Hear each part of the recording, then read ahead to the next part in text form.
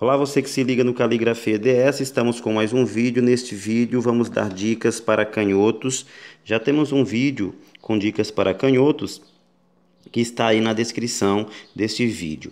Então, ó, como a gente já deu a dica em outro vídeo, nós vamos apenas se, é, se dedicar mais em mostrar uma letra diferenciada e que vai te ajudar também a melhorar a sua letra para você que escreve com a mão esquerda. Ó, presta atenção.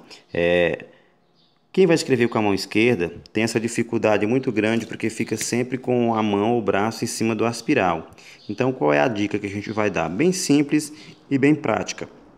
Você vai é, puxar a letra, como se observa aqui, vai pegar ela puxando para cá, ó, tipo deixando ela caída para lá, para você ir vindo escrevendo de lá para cá porque aí facilita muito para você não ficar com o braço. Se você vai escrever, um exemplo, com a mão esquerda, você vai ter que ficar assim.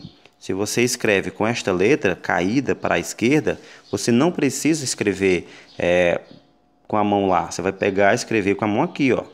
É claro que você vai ter que praticar, exige é, dedicação para você, mas com certeza vai melhorar muito na sua escrita para você que escreve com a mão esquerda. Então, ó, eu tô aqui com a mão esquerda, porém eu não vou escrever com a mão esquerda porque eu não sei. Mas para você que já escreve, a dica é esta. Eu vou colocar o nome aqui de alguns inscritos é, que a gente selecionou aqui para a gente escrever com a mão com a mão direita e você praticar com a mão esquerda, é claro, você que já escreve. Para você ver como ajuda bastante na hora de você escrever, ó. Aqui o nome da Evelyn. A Evelyn pediu para a gente escrever o nome dela.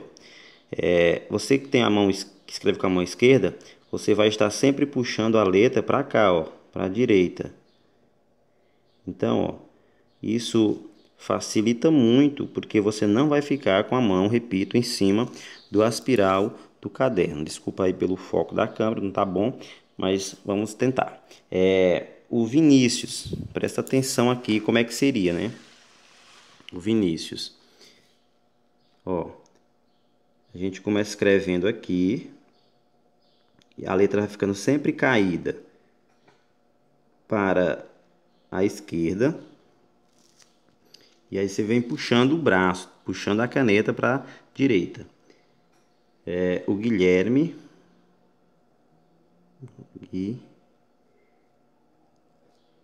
Guilherme. Guilherme. É, Deixa-me ver também quem mais pediu aqui.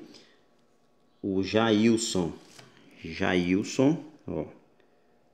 A letra é a mesma que a gente já costuma ensinar aqui. Porém, ela é uma letra mais arredondada e, é claro, caída para a esquerda ao invés de ser caída para a direita, como a gente faz sempre. Também a Sandra Dantas pediu. Sandra, ó, você pode observar que é uma letra mais redonda e caída para a esquerda. Então, ó, aquele problema que você tinha ao escrever em cima do aspiral do caderno vai ficar para trás. Se você vai escrever do outro lado do caderno, aí sim você pode colocar a folha de forma normal, né? Portanto, se você já tiver praticado esta letra caída para a esquerda, você vai conseguir fazer da mesma forma, né? Pedro Andrade.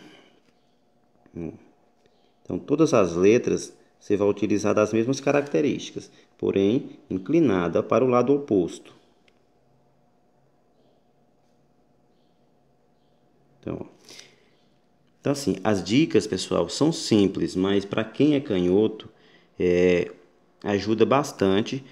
Vários canhotos que eu já pude dar dica pessoalmente já disseram isso, que foi muito útil. E assim, a gente fica muito feliz por saber que pode, de alguma forma, contribuir e ajudar alguém, tá bom? Então tá aí, ó. É, você pode observar que a letra ela é caída para a esquerda, o lado que fica o aspiral, porque você vai escrevendo com a mão esquerda e você não vai precisar ficar com a mão em cima do aspiral. Você vai ficar com a mão aqui, ó, escrevendo, puxando para cá. Pessoal, era uma dica simples.